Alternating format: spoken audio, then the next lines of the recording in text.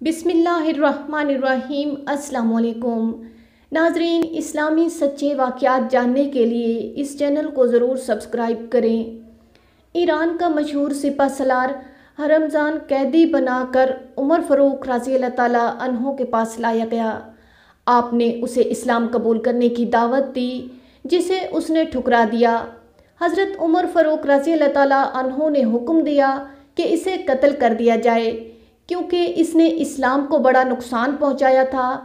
जब उसके कत्ल की तैयारी हो गई तो उसने उमर फ़रूक राज़ी अनहु की तरफ़ देख कर कहा, मैं प्यास से निढाल हूँ।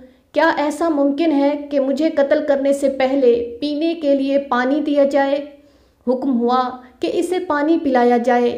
हरमज़ान ने पानी का प्याला हाथ में लिया और उमर फ़रूक राज़ी अल्लाह से कहने लगा ये पानी जो इस वक्त मेरे हाथ में है, इसे पीने तक आप लोग मुझे कत्ल तो नहीं करेंगे? आपने फरमाया हाँ जब तक तुम पानी नहीं पियोगे, तुम्हें कत्ल नहीं किया जाएगा। मैंने जल्दी से पानी नीचे गिराकर ज़ाया कर दिया और कहा, अमीरुल मोमिनीन, देखिए, आपने वादा किया है, अब इसको पूरा कीजिए। हज़रत उमर फ़रूक रज़ी अल्लाह ने कहा तुम्हें कत्ल करने से फ़िलहाल रुक जाते हैं। मैं तुम्हारे मामले में गौर फ़िक्र करूँगा। फिर जिल्लात को हुक्म दिया कि तलवार हटा लो। जैसे ही उसके सर से तलवार को हटाया गया, वो फ़ौर ही मुसलमान हो गया और कलम शहादत बजा लाया। हज़रत उमर फ़ारूक रज़ी अल्लाह ने कहा, इस्लाम ले आए हो? अच्छा किया। मगर ये तो बताओ, जब मैंने तुम्हें इस्लाम की दावत दी थी उस वक्त तुमने कबूल क्यों ना किया?